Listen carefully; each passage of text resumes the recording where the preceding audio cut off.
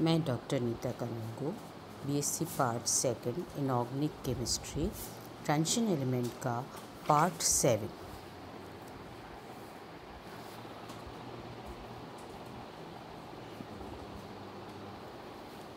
Seven में आज अपन मेटेलिक नेचर ट्रांजिशन एलिमेंट का कैसा होता है उसके बारे में स्टडी करेंगे।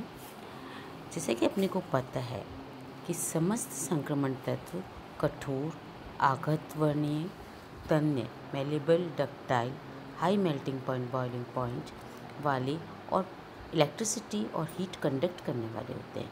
ये सारे गुण जो होते हैं, वो धातुओं में पाए जाते हैं। ये और ये इस, इन सबको नॉन मेटेलिक नेचर से अलग करते हैं। इस कारण हम कह सकते हैं कि समस्त संक्रमण तत्व धात्विक प्रकृति के होते हैं। पर इसमें भी अपन देखते हैं और ये सारे जो धात्विक मेटल्स होते हैं, ये क्लोज पैक्ड स्ट्रक्चर में पाए जाते हैं। पर अपन देखते हैं कि मैंगनीज जो है, इसमें एक अपवाद है। इसमें तीन तरह की क्रिस्टल संरचना पाई जाती है। बीसीसी यानी काय केंद्रीय घनीय संरचना एफसीसी से, यानी फलक केंद्रीय घनीय संरचना एचसीपी यानी षट कोणीय निभिंड संकुलित संरचना। इसका कारण ये है कि मैंगनीज में डी फाइव इलेक्ट्रॉनिक कॉन्फ़िगरेशन पाया जाता है। और इसके कारण इनकी जो क्लोज पैक्ड स्ट्रक्चर है, वो अनपेयर्ड इलेक्ट्रॉन पाँच होने के कारण एक अलग तरह की पाई जाती है। और ये धात्विक चमक high malleability high melting point इन सब के कारण जो है, वो इसमें विद्यमान डी इलेक्ट्रॉन है और उसमें एक विशिष्ट प्रकार का बंध पाया जाता है। इसके कारण होता है। इसलिए हम देखते हैं कि कई बार क्या होता है कि जो धात्विक बंध बनता है, वो किसके कारण बनता है? कि इनके जो डी एनपेड इलेक्ट्रॉन है, इनमें आपस में ओवरलैपिंग हो जाती है। और ओवरलैपिंग होने के कारण भी ये एक क्लोज पैक स्ट्रक्चर में आ जाते हैं और क्लोज पैक स्ट्रक्चर की एंथैल्पी ऑफ़ एटमाइजेशन भी ज़्यादा हो जाता है और इसी कारण इनका मेल्टिंग पॉइंट और बॉइलिंग पॉइंट भी हाई होता है।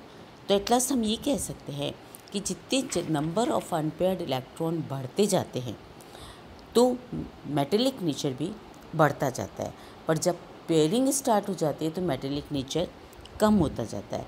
तो इस तरह से अपन देखते हैं कि स्कैंडियम से क्रोमियम तक मेटेलिक प्रॉपर्टी बढ़ती है और मैग्नीज से नीचे जिंक तक वापस घटती जाती है।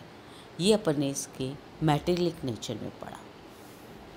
अब आता है next point melting point and boiling point इसके लिए मैं सबसे पहले आप लोगों को कहूँगी कि आप एक बार टेबल देखिए जो मैंने ड्रॉ की है।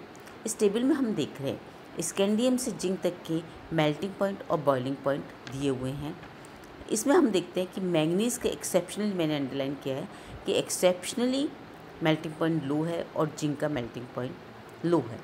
इसका कारण ये है कि जैसे जैसे अभी अपन ने डिस्कस किया था, जैसे कि मेटेलिक नेचर में कि स्कैंडियम से क्रोमियम तक अनपेड इलेक्ट्रॉन बढ़ते जाते हैं। डी कक्षक में अनपेड इलेक्ट्रॉन बढ़ते जाते हैं और इनके कारण इनका धात्विक बंध में योगदान बढ़ता जाता है और धात्विक बंध प्रबल हो जाता है और गलनांक गलनांक बढ़ता जाता है। बाद में जो डी इलेक्ट्रॉन में युग्मन स्टार्ट हो जाता है, अयुग्मित इलेक्ट्रॉनों की संख्या कम हो जाती है और कम हो जाने के कारण इनका melting point boiling point decrease हो जाता है। दूसरा कारण क्या है?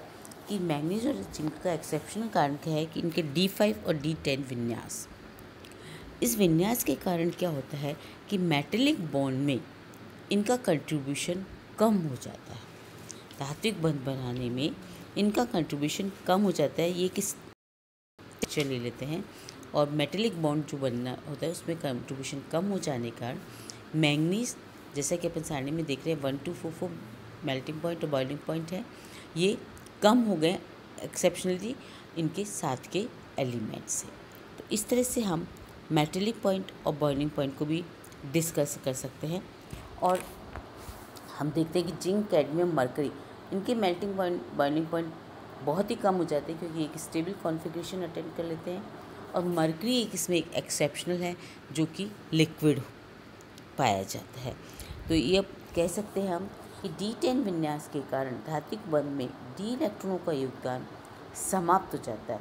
इसलिए मेल्टिंग पॉइंट बॉइलिंग पॉइंट के मान काफ़ी कम हो जाते हैं।